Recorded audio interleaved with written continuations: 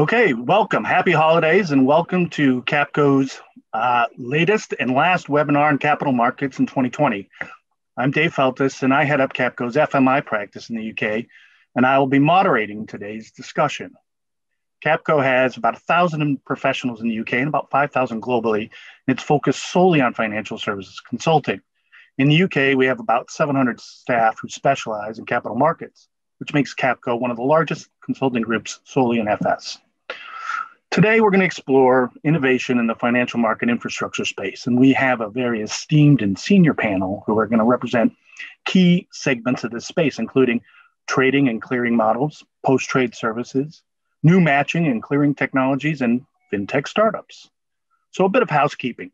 After a quick presentation and then a panel discussion, you will be able to ask questions in the Q&A section, which I think you can access uh, and find at the bottom of your screen. I'm sure but by this time in December, you were all experts in uh, Zooming and et cetera. So, so let's kick off. I've asked my colleague and friend uh, Ahmed, who's head of our research and development, as well as head of Capco's uh, Digital Innovation Lab, to join us. Jib will briefly talk about some of the, the ways Capco is helping our clients rapidly turn ideas into practical value add solutions. Over to you, Jibs. Thanks, David. Um, so yeah, as, as David said, I head up our digital lab in the UK. Um, my background is largely technology and capital markets. Uh, you know, uh, started my career as a software developer and then moved more into the architecture space. And in the last five years, more focused on the innovation technologies in capital markets, but also other areas of financial services. The purpose of our digital lab is to work in conjunction with our clients across financial services to help them explore new ideas or explore ways of solving existing problems with new techniques and technologies.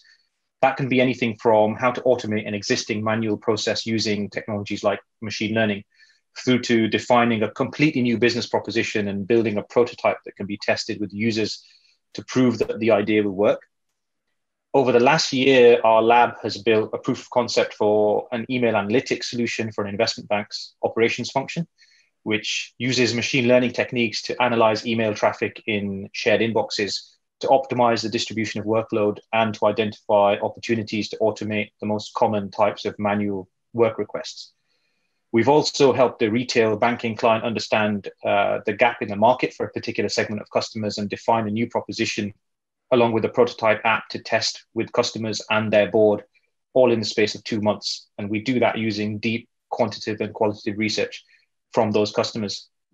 We've also built a proof of concept in less than three months for a perpetual KYC solution, which changes the way KYC is executed for corporate customers from being a, a periodic, manually intensive activity to a process which continuously identifies changes in key data from external sources like Companies House and then updates the customer's risk profile on the fly and uh, alerts a human wherever a significant change in, in risk has occurred. And, and we're using uh, graph technology and machine learning to make that happen. And, and, those are just a few examples of the types of things we've done. Um, you know, we've done a variety of other things, typically short, sharp projects in the space of a month to three months max. Um, to make all of that happen, uh, we pulled together a small team of, of, researchers, designers, architects, developers, data scientists, and, and financial services domain experts to work on very short focused projects which are designed to demonstrate value very quickly with as small an investment as possible.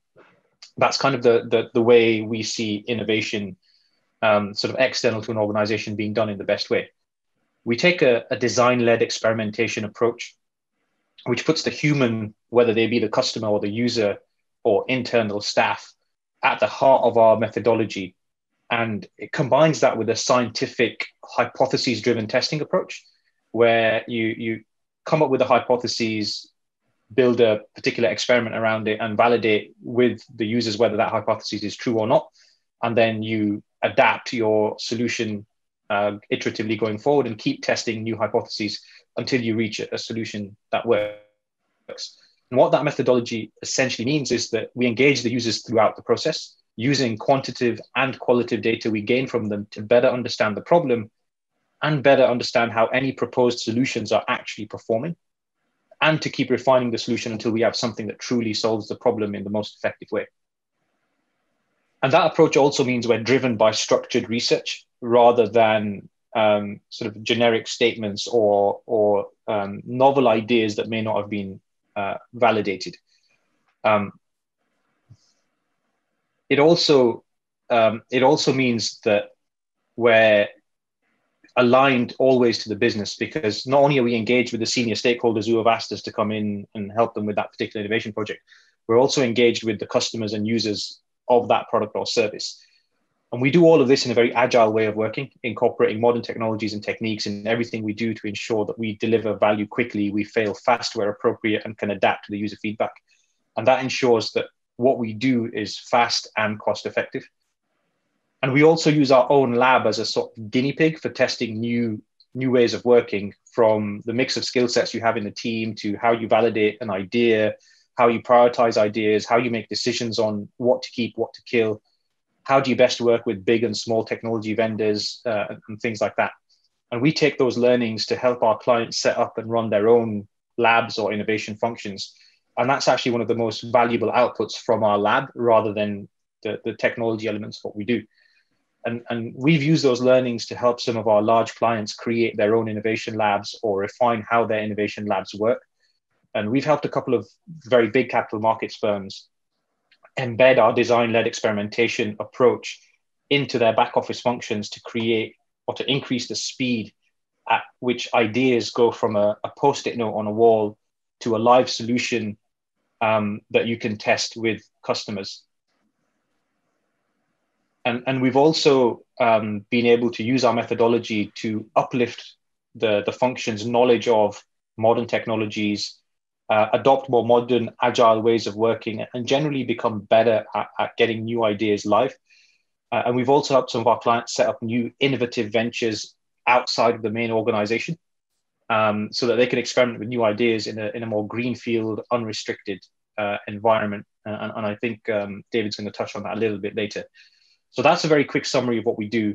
Um, as we head into the new year, our lab will be putting more of a focus on market infrastructure, um, as we see that as being a space where there's a big opportunity to apply our methodologies and some of the um, emerging problems there are, are very interesting. Uh, from a personal perspective, having a capital markets background, um, and having done some work in, in the market infrastructure space, I prefer tackling some of the bigger, more complex problems in market infrastructure. So I'm quite looking forward to hearing from our panelists on some of their challenges and ambitions. Um, I'll stop there. Uh, David, back to you.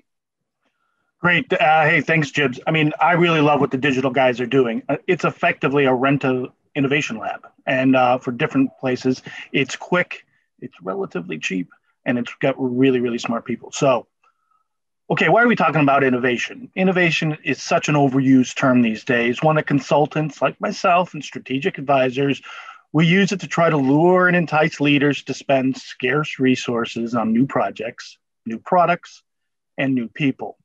Innovation as a topic has been around a long time, and I'm certainly not innovating in terms of webinar top topics. But as, but as I see new technology and innovation in other sectors, such as the payment sector in Asia, these are making massively rapid gains. Uh, I wanted to explore the state of innovation in FMI in the FMI world, as well as kind of wholesale markets in general. There's been over 20 years of academic study and structured thought on the topic of innovation.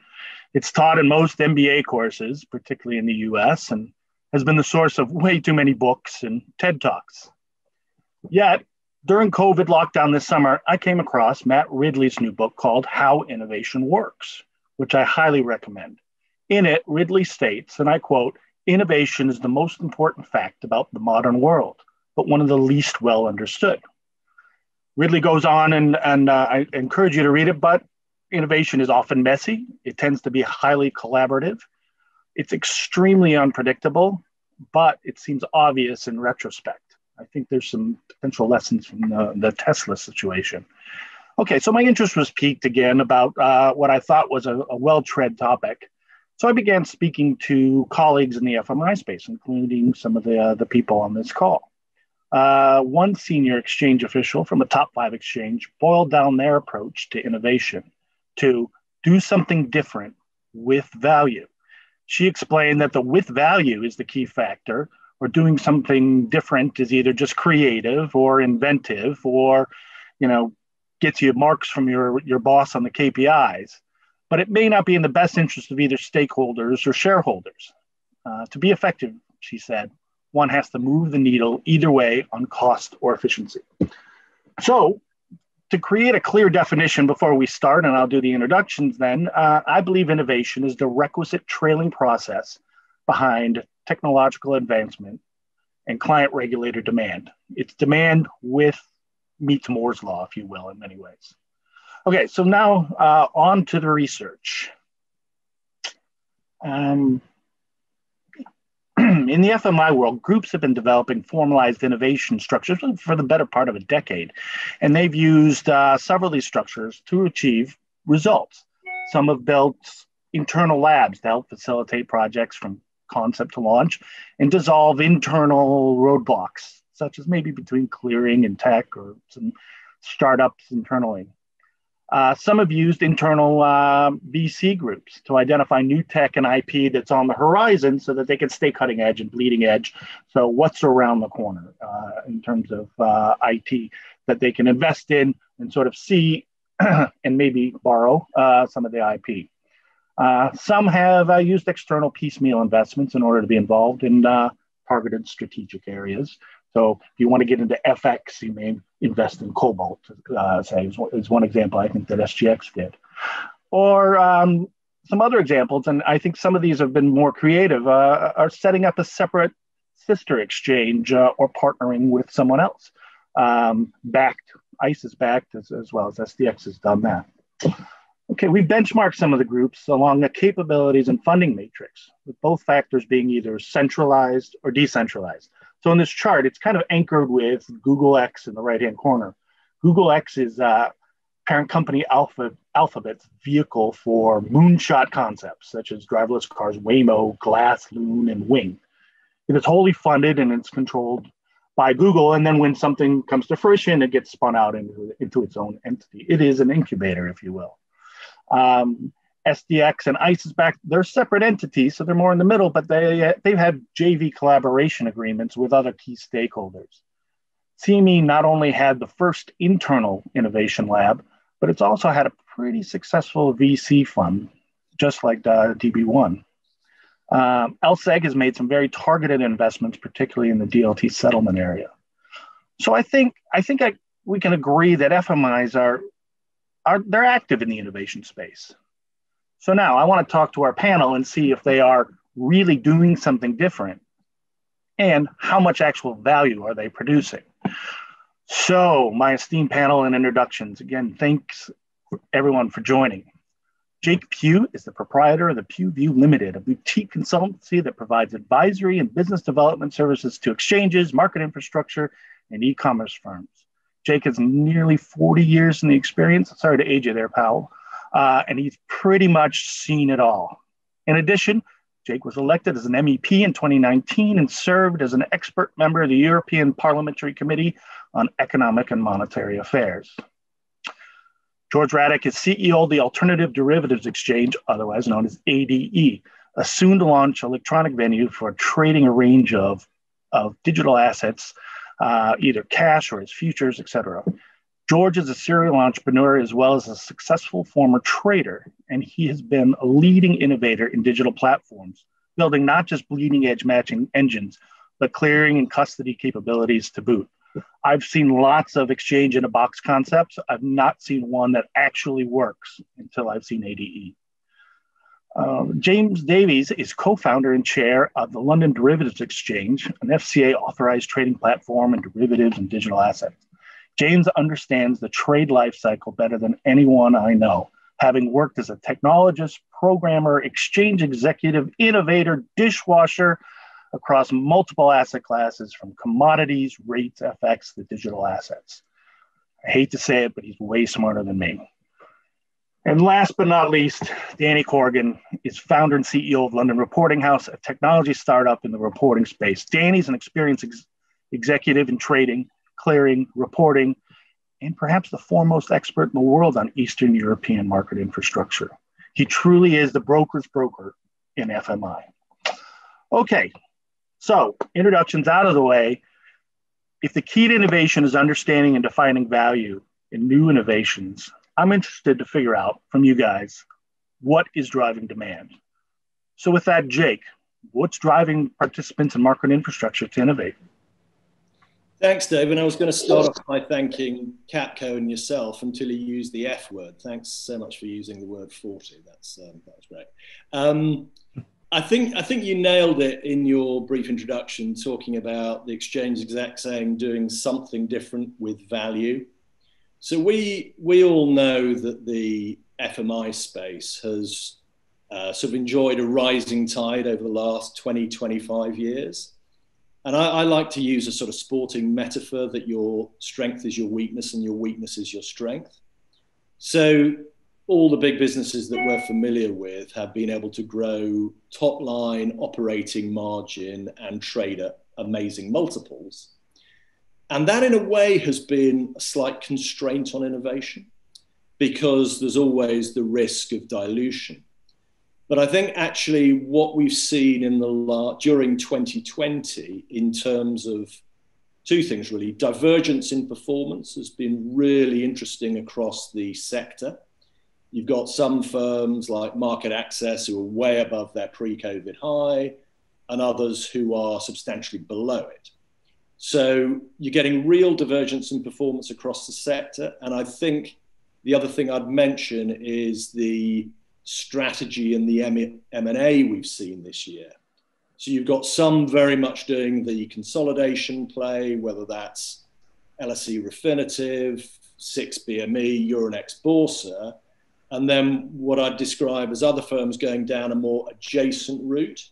So uh, ICE with Ellie Mae, NASDAQ with Verafin, Deutsche Börse, ISS. So I think we're seeing a bit of a divergence in the strategy um, the last thing I'd say is kind of I'm a bit of a fan of the sector really, and I, I, I think the businesses are open to innovation, but one of the problems they do have, particularly in the cleared space, is the speed at which they can introduce new products because of regulatory permissions, particularly on the clearing side.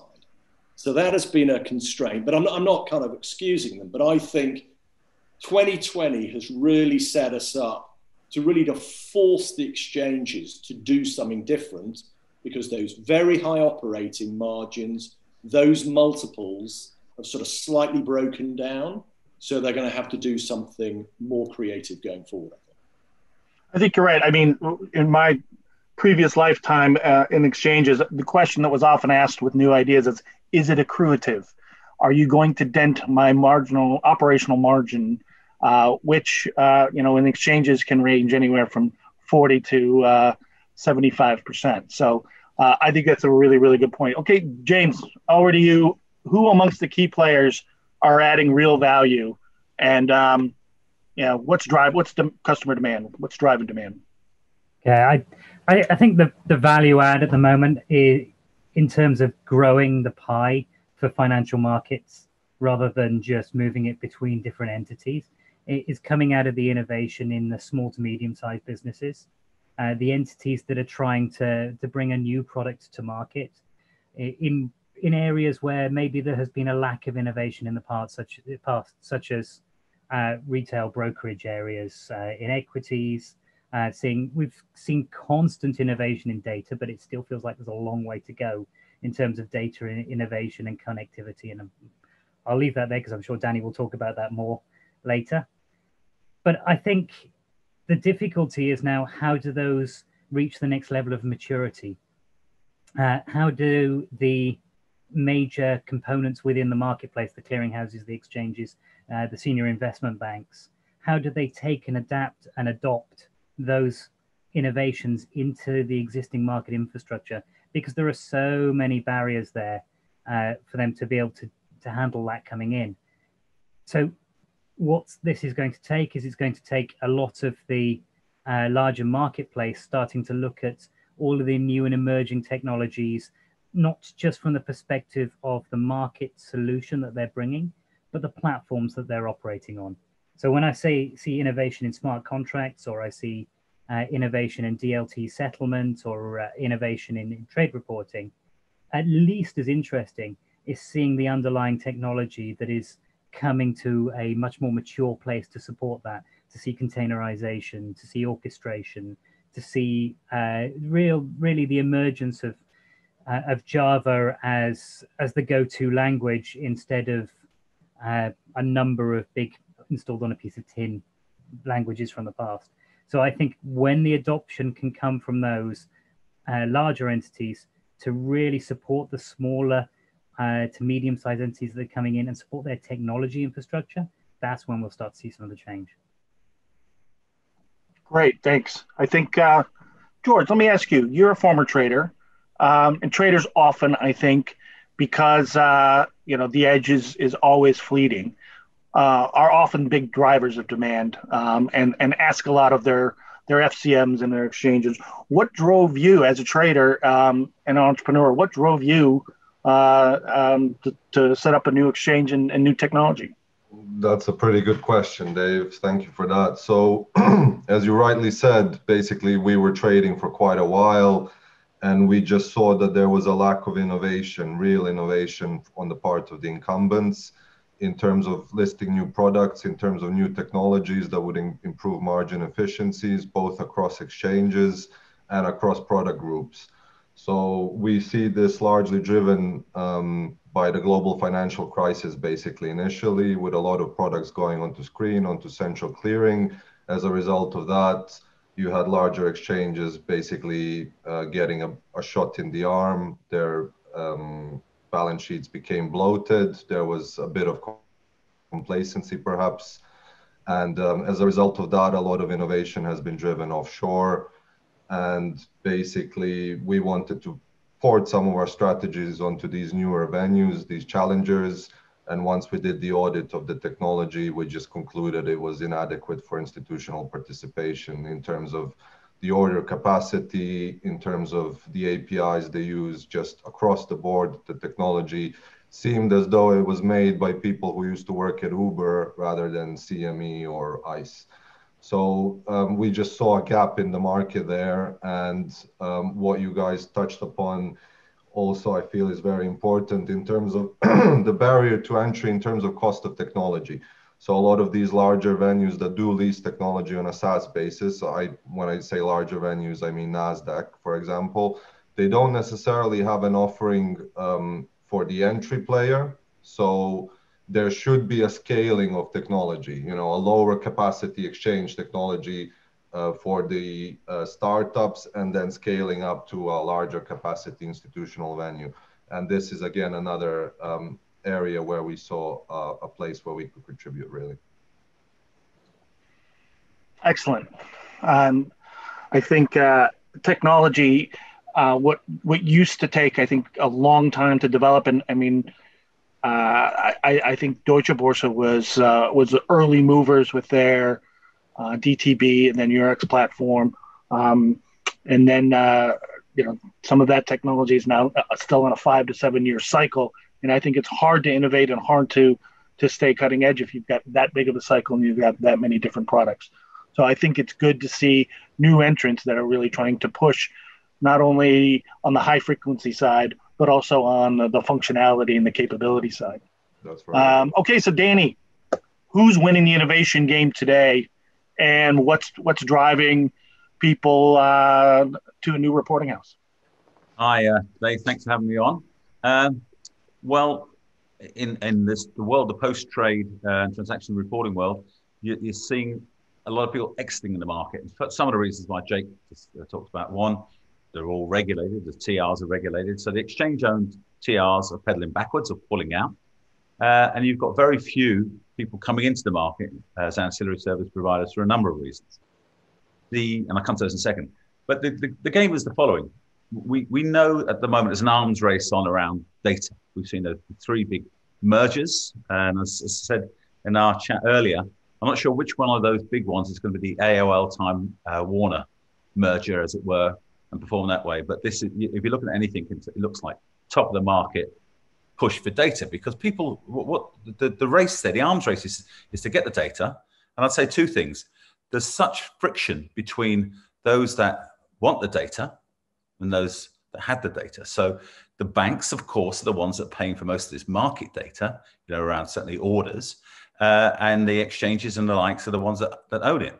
And the prices just go, on and on and on. And we have these uh, amazing multiples, as Jake said.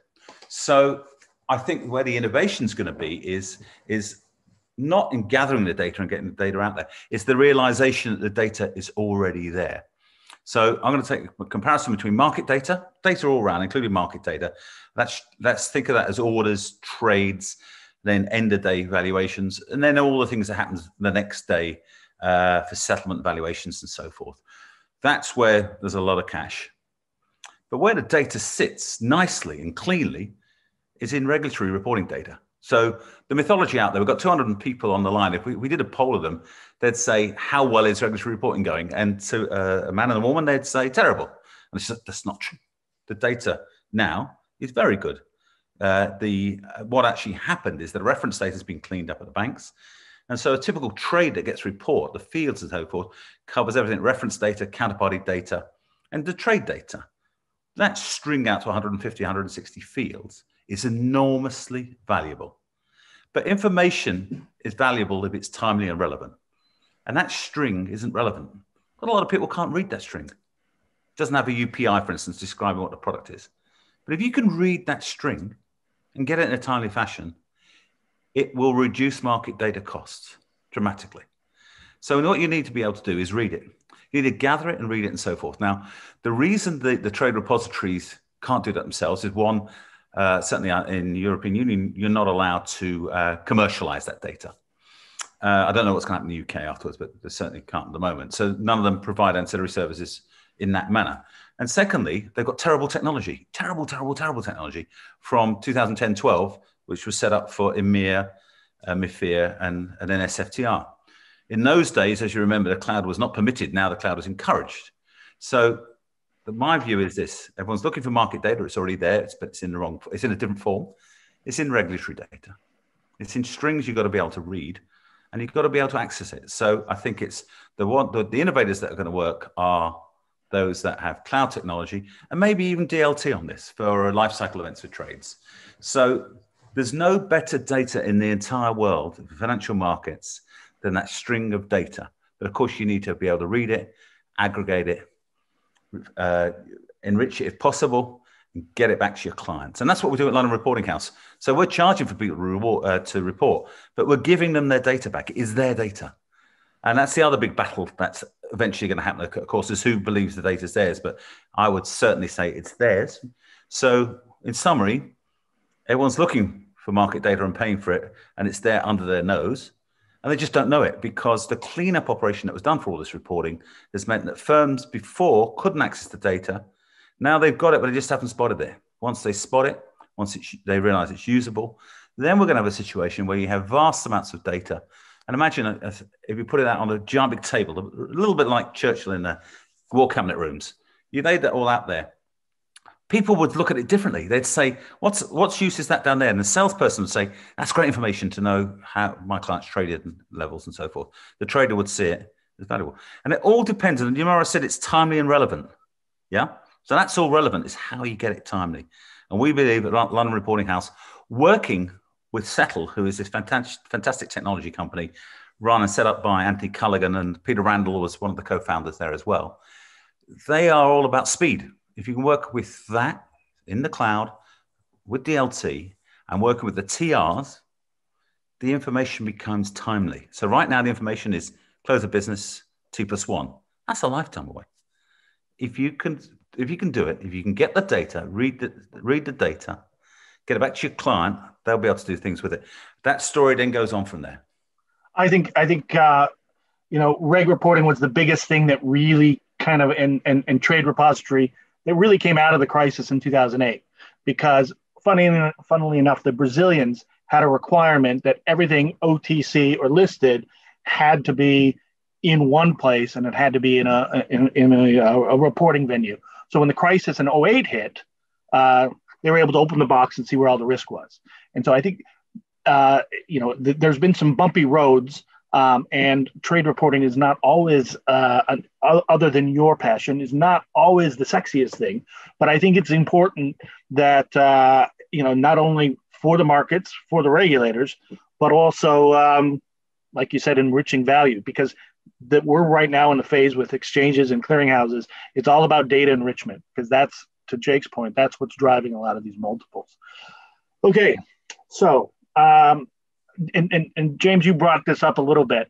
I've been torn, and one of the reasons I really wanted to kind of explore this was was is the innovation in FMI spaces accelerating or or is it lagging?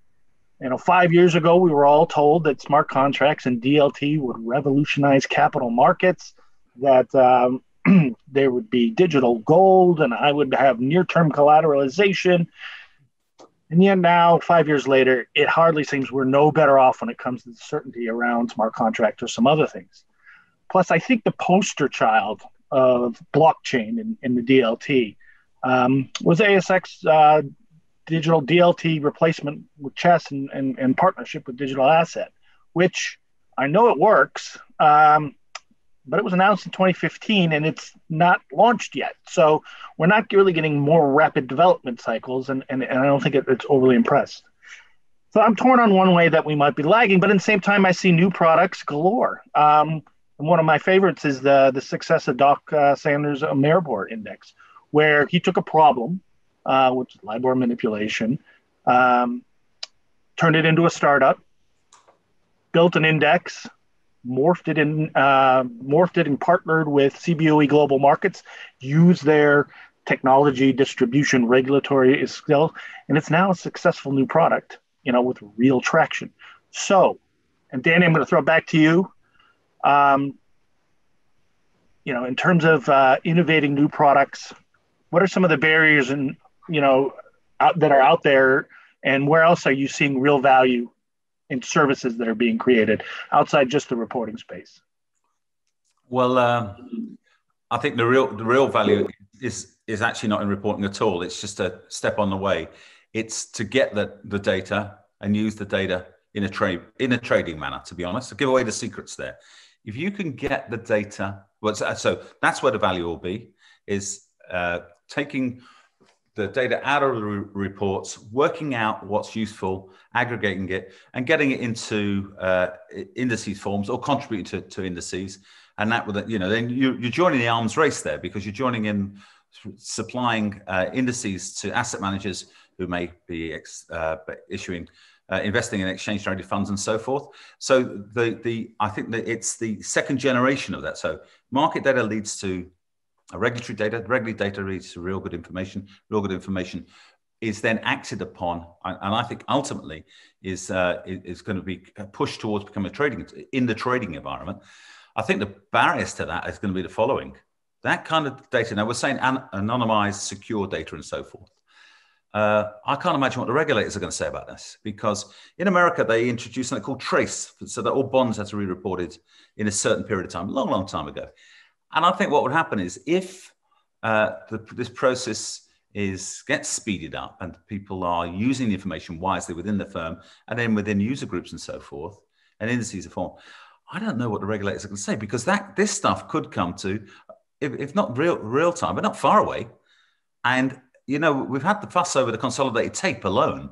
If it, this would be like a giant consolidated tape. So you'd know whether everything's traded almost immediately. There's no way the big banks are going to allow that. No way on God's earth, because that's that's where all the market data is. Why would you be bidding up market data if that case if that if trade data like that in an anonymized secure form, form was made available. So I think the idea is that you've got to watch out for the brakes on the system there. That may come from the regulators, or the regulators may go the other way and support it and say, this is what should happen. But so I think the incumbents Will that, we see something where you know multiple different entities will spit their data into a cloud, and then and then AI vehicles of both buy side as well as sell side firms will be able to chip and chop and filter and go forward? I mean, will the regulators allow that? Would they want to allow that? I think the regulators will go for a model for pulling data for themselves and be, I think, quite happy for for people to make that available for sure. Because it, let's be honest, it's the institution's own data. It's theirs. It's not the regulator's data. It's their own data. And I think they would encourage that. Certainly, FCA would encourage that. But there'd be a lot of people trying to discourage that because straight away you would realize as a client of a bank where you've traded, where someone else has traded, and you're going to work out are you top of the pile or not. So there will be, uh, I think there'll be a lot of lot of uh, barriers in, in, that. But that, that, that, I think that's going to happen over over the foreseeable future. If people wake up to the string as being very very valuable, one of the natural goals is that it will become more timely and you'll be able to execute, not quite execute them, but not far away from that. And uh, then it does depend on those that own the data now, what are they up for sharing? So, Dave, that whole idea of doing that in the cloud and everyone sharing things, never going to happen. All right. They're not for sharing. All right, uh, James.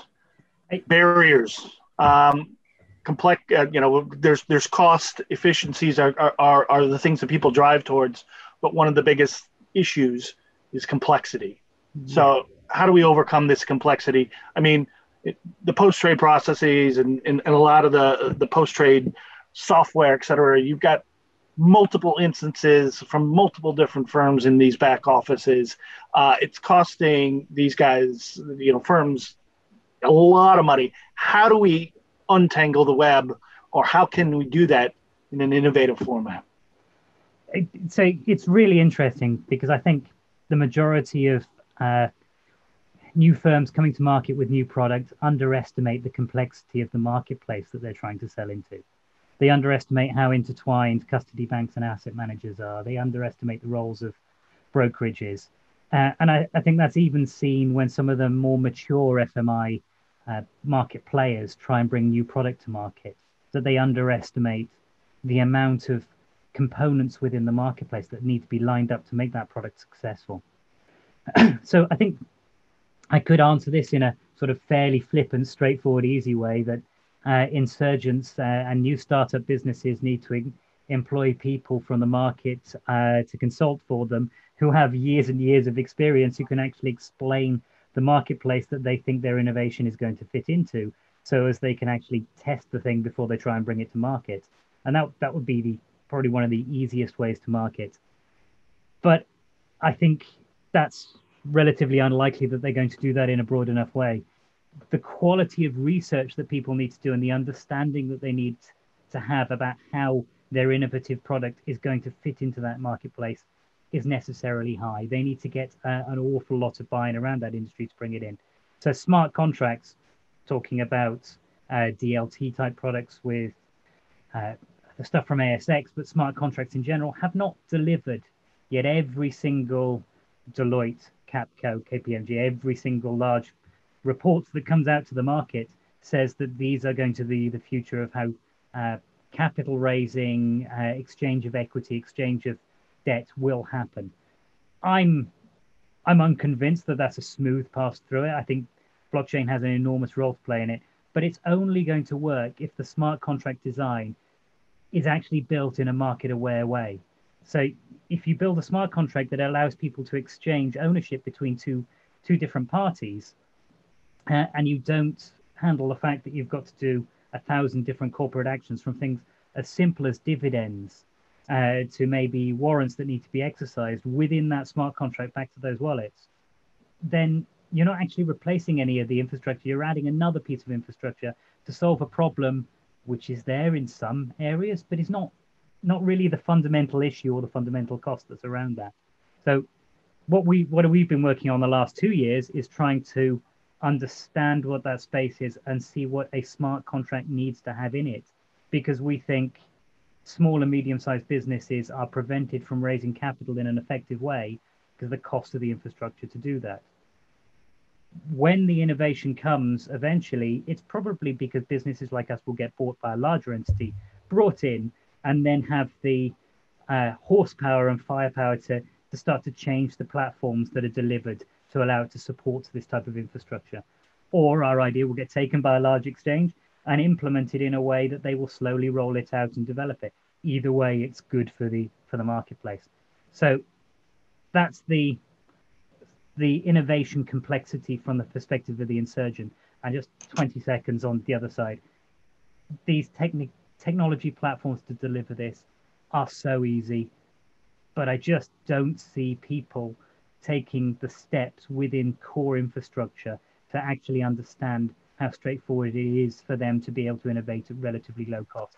The imagined barriers within large institutions to the cost of innovation are unreal when you've been sat on the other side of the fence.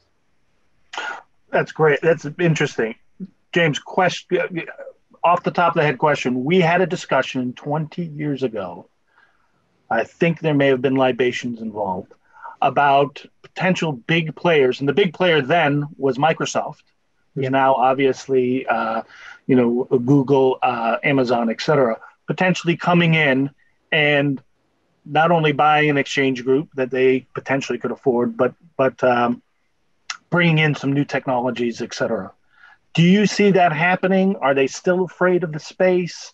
Um, it, it's the same. It's the same answer, really. I, I, think I now understand it a little better. I mean, my, my thought back in the late '90s and sort of 2000 was why are the large technology suppliers not coming into the market space and taking relatively commoditized views of big pieces of financial market infrastructure?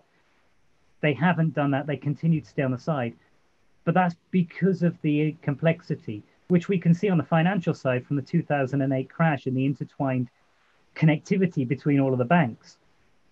The number of people who I think understand this, that I can think I can have a deep conversation with about it, or some of them are on the call. I mean, there are a few people I respect as much as Jake's views on financial markets, but a, a lot of them are dialed in. There aren't hundreds and thousands of these people with actually good views across the whole of financial markets who can go into those businesses and say that's a commoditized product that you can stick up on AWS uh, and allow someone to launch a container on an instance for it and away they run. I don't see that changing right now because I don't see the impetus for them to buy that knowledge in and learn it. I think they've been afraid of the regulators. you know, there's there's no doubt about that in the past, but I I think you're starting to see them play around in the payment space. Um, because that is emerging um, with Alipay and some of the things in Asia. So uh, one last one last line then. Just you were spot on when you said payments in Asia. Payments in Asia, payments in Africa uh, are the places where the largest amount of innovation is going on across financial markets. It's just so much innovation. NerdStat, first half of this year, of 950 million eligible people in China. I know it's larger, but but uh, of those eligible with a mobile phone, 825 had done a mobile digital payment. So whether or not you know we open up, etc., um, it's happening, and I see that it's, it's going to just bowl over the West, uh, which was one of the questions. So George, I want to bring you in on terms of you know barriers in, in, in tech and, uh, and and and really um, what are we seeing in some of the tech stuff? You uh, do you have smart contracts in, in ADE? I believe you've done yeah, it, haven't so, you? So, tying into what James was saying, I think there is still a lack of understanding of the technology as, as, as a as a whole.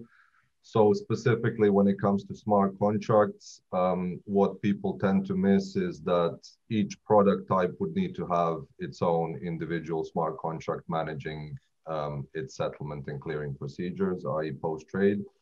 Um, and I think once you look at it from that point of view, then you can also um, basically stratify the regulatory side of things as well. Um, they've introduced lower classifications for exchanges, MTFs, OTFs, in order to encourage uh, competition and listing of new products. Yet those same new exchanges have to rely on the same old central clearing procedures that have existed for 20 years and are simply inadequate for any new product, really. So um, that hinders innovation. Um, more broadly, though, I would say that the technology, basically uh, DLT specifically, allows for the shortening of the settlement cycle, allows for real-time risk management, real-time settlement, which results in lower uh, counterparty risk and should result in lower capital requirements, which then drives lower fees. So um, there is potential in the technology. What we've done is basically apply um, DLT or smart contracts for futures clearing. And our opinion is basically that the regulators shouldn't be treating a liquid exchange traded product with real-time risk management the same way an opaque voice traded product is treated in terms of central clearing. If I can manage risk across multiple venues in real time, you know, liquidate positions in real time, have mark to market, that's not the same and shouldn't be treated the same. Really, from our perspective, the thing that's missing is regulatory changes on the clearing side. And we feel that that would drive innovation. In terms of what's missing in the space itself, I think James touched upon it quite well there is a lack of expertise in the challenger space, if you will, and um, a lack of adequate solutions for challengers uh, to launch.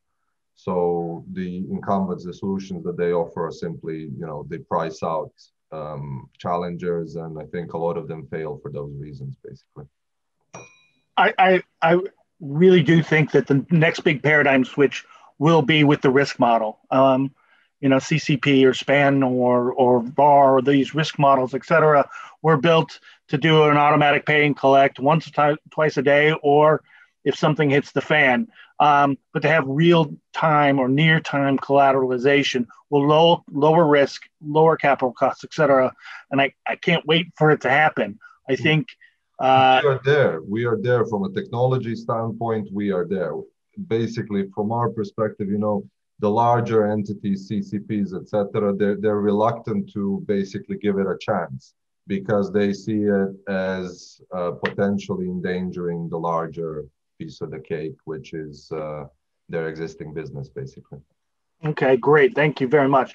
Okay, Jake, how do FMI stack up in terms of uh, relative to the banks, in terms of their they're innovating, how uh, uh, bringing new products to market. Uh, um, you know, it's their technology. Even. What do you think?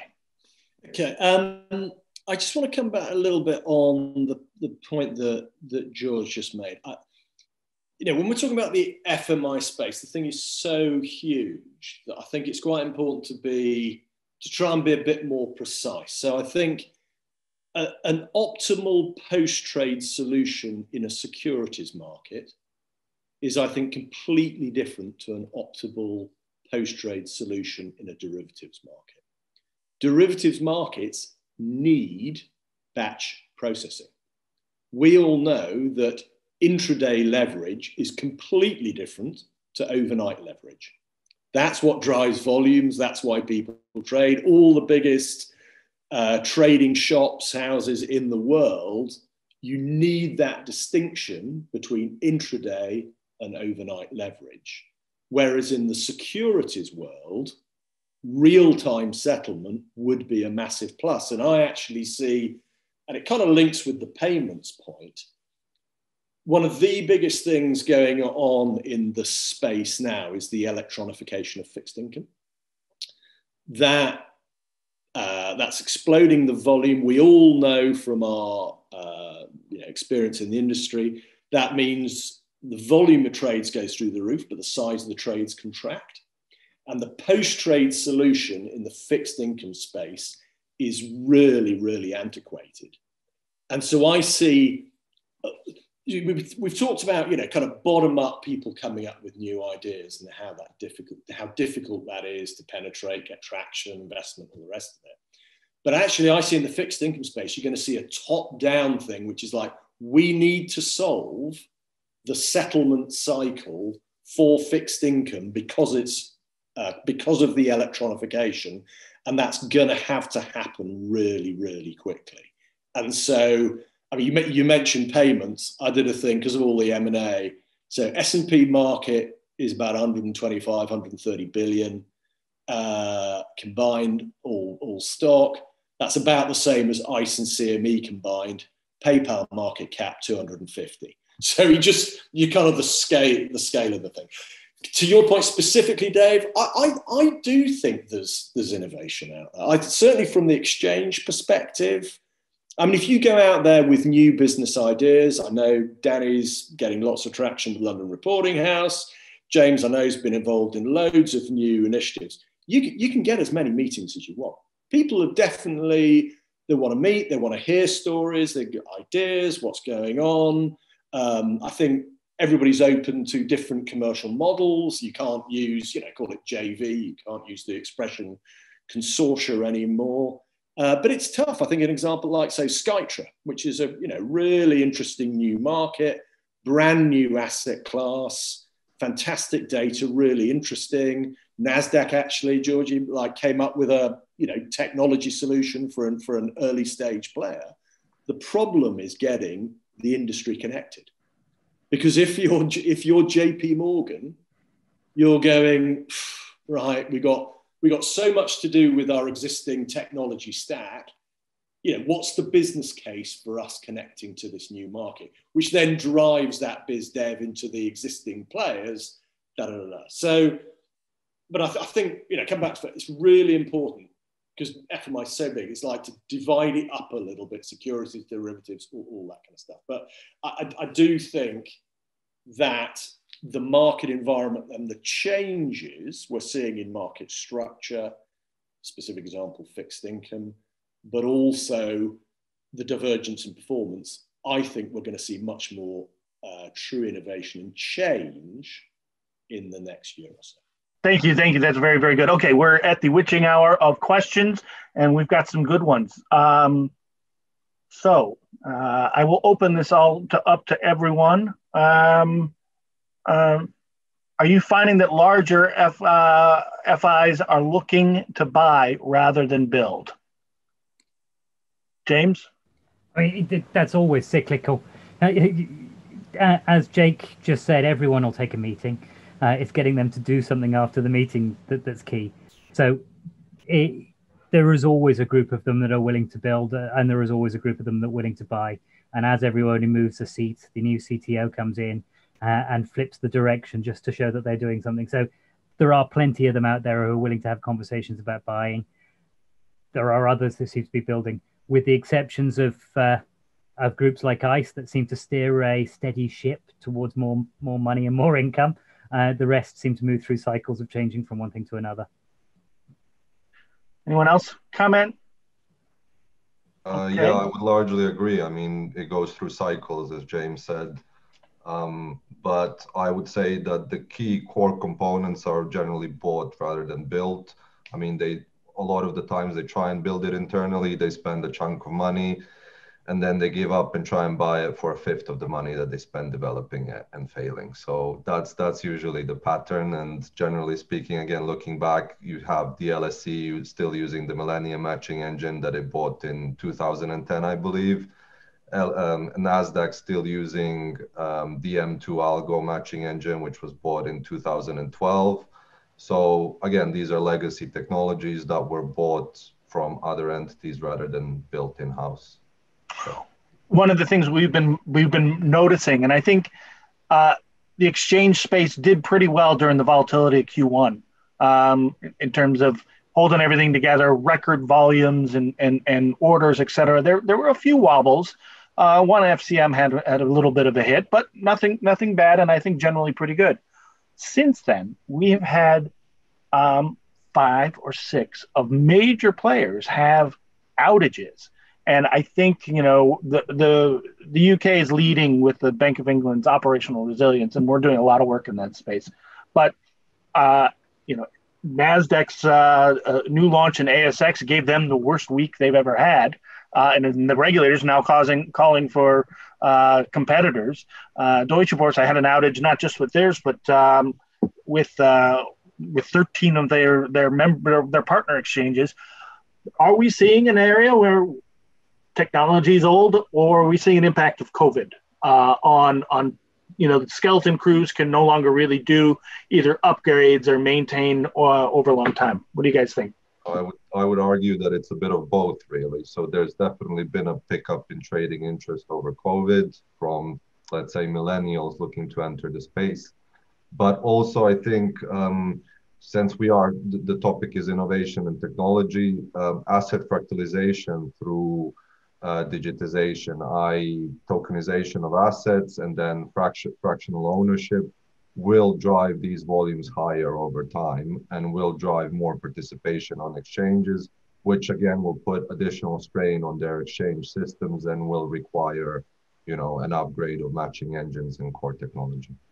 I think actually, I think it's a really interesting point, Dave. You bring up. Did, not the CEO of JPX resign or something? I mean, it's um, so. And then the chairman came down and is taking a a, a half pay. Uh, yeah, it's a it's a big shame, cultural shaming thing. I yeah, I was yeah, absolutely. But I, I think I mean it's it's a double edged sword, isn't it? Because you might have a too big to fail if the exchange businesses has all been about the consolidation let's put more and more businesses through a single technology which in, in a way you would hope the, the regulators would say right come up with different technology solutions my fear is that that unless the regulators kind of force that upon the exchange groups it can actually potentially be a constraint against innovation because if you're sticking with the old technology, that's going to mean you're sort of, you know, staying in your own kind of, you know, backyard, looking at the existing technology. So I think it's, it is a really important development, particularly when you've had so much consolidation and, and more is, you know, um, coming down the road the next 18 months.